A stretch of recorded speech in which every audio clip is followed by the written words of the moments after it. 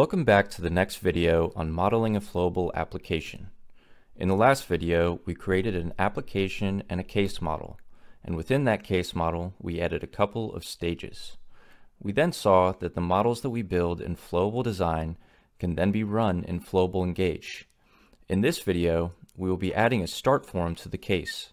The start form will allow a user to enter any information relevant to the case when it begins. To create a start form, go to the case model that we have created in Flowable Design and click on Start Form in the Details panel. Make sure the new tab is selected, type in a name and key, and click Create. We are now in a new view, the Form Editor. Much like the case model editor, there is a list of elements that we can add to the form on the left, and a section to change different properties on the right. The primary view in the center will represent a form that a user will be able to see and fill out. For our Proposal Manager application, we would like the user to enter some relevant information to the proposal each time a case is started.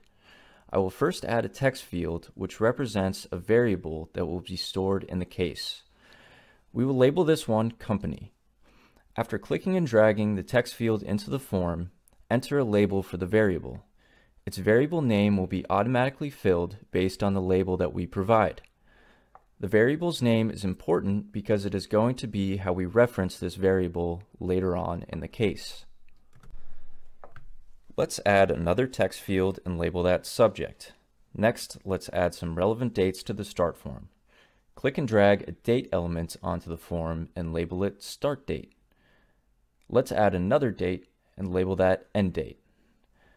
Notice how we can lay out the elements in any arrangement that we want. I will put the dates side by side since they are related to each other.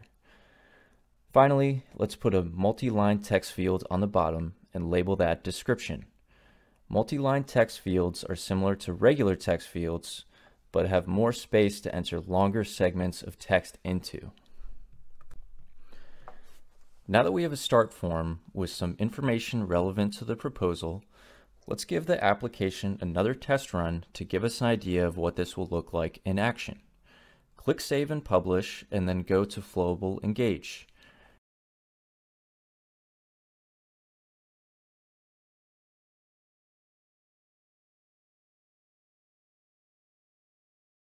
After we start the case, we can see the start form we just made.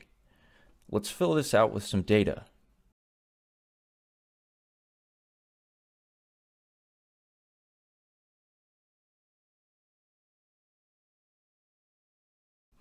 After we click Submit, the case will begin.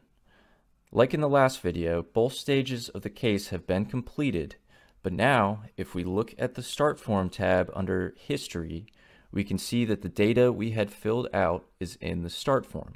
Right now, the information in the start form is not doing anything special, but will be accessible throughout the case, which I will demonstrate in the next video.